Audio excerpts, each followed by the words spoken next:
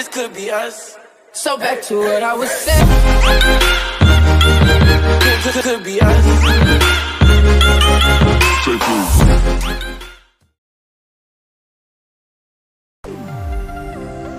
Yo, welcome back to my channel and it's time for One Sword Dominated chapter 308 Because Yeswan let Yan Lan you get killed Elden Changswan got angry and punished Yeswan with the smooth immortal skills uh, Besides that, Elder Changswan also took offense to Yeswan's words Yeswan previously said, what kind of person that trained a stupid girl like Yu?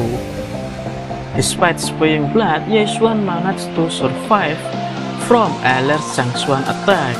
This made Elder Lumeng very surprised. He didn't expect that Yeswan really survived from Elder Changswan's sword immortal attack. Because he underestimated Yeswan, Elder Changswan finally unleashed all his power and want to abolish Yeshuan. So they would be a lesson for the entire Changjiang sect in the future. However, before his strongest attack with Yeshuan, Master Yeohi appeared and saved Yeshuan. This made Elder Changshuan asked to Master Yuhi, what is his mean with this? Master Yuhi replied that she was only seeking justice for his disciples. Master Yuri also issued his signature attack, Sword in the Cloud. Until this made Elder Changshuan think that Master Yuri was crazy.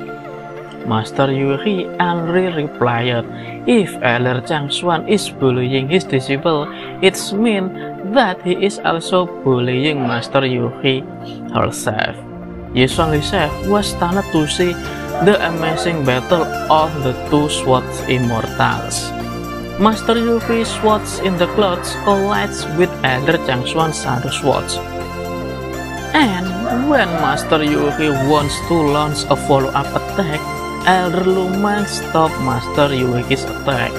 This also makes Master Yuki ask, Does Elder Lumang also want to against her? Elder Lu asked Master Yuki to stop this fight because he thought it would only his own disciple. Elder Lu suggested to leaving this master to the Patria. Let him who decides who is right and who is wrong. Master Yuihi then asked to Yishuan, did he have the courage to face the Patria? Yishuan was with this, and apparently Elder Changshuan was also fine with Elder Lu's suggestion. At Lingxiu Hall, the Patria gathered all the conflicting parties. Elder Changshuan spoke first about what happened between Yishuan and Lan Yu. Yishuan confirmed that what Elder Changshuan said was right.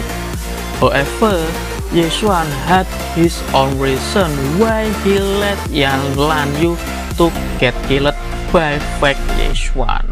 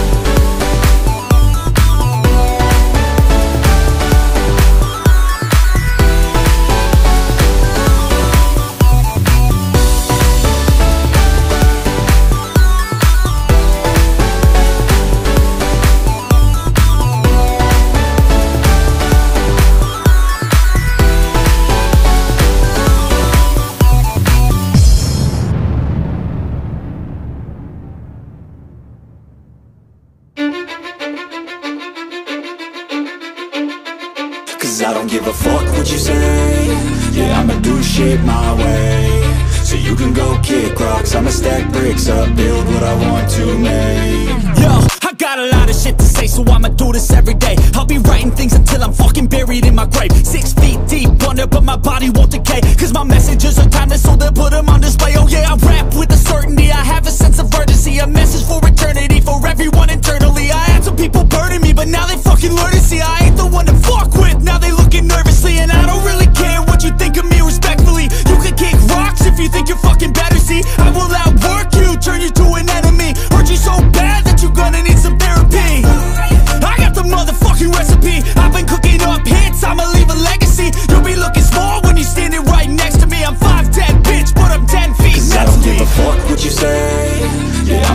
shit my way. So you can go kick rocks I'ma stack bricks up, build what I want to make. Cause I don't give a fuck what you say. Yeah, I'ma do shit my way. So you can go kick rocks I'ma stack bricks up,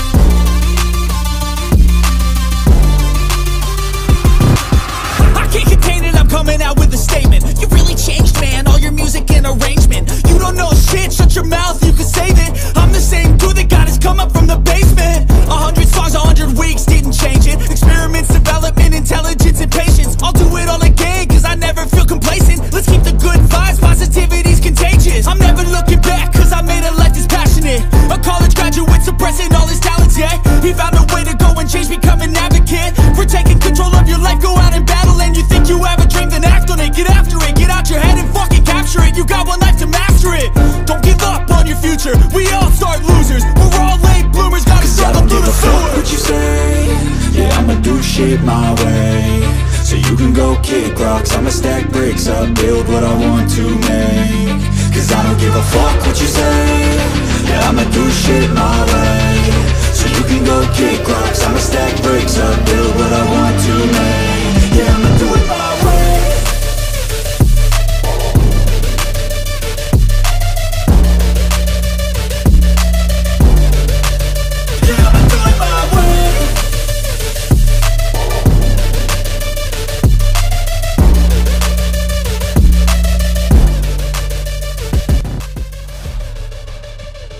all of you satisfied and like this video please subscribe share and like my video. And if all of you wants to appreciate my work please don't skip ads in the video. See you on the others video. Bye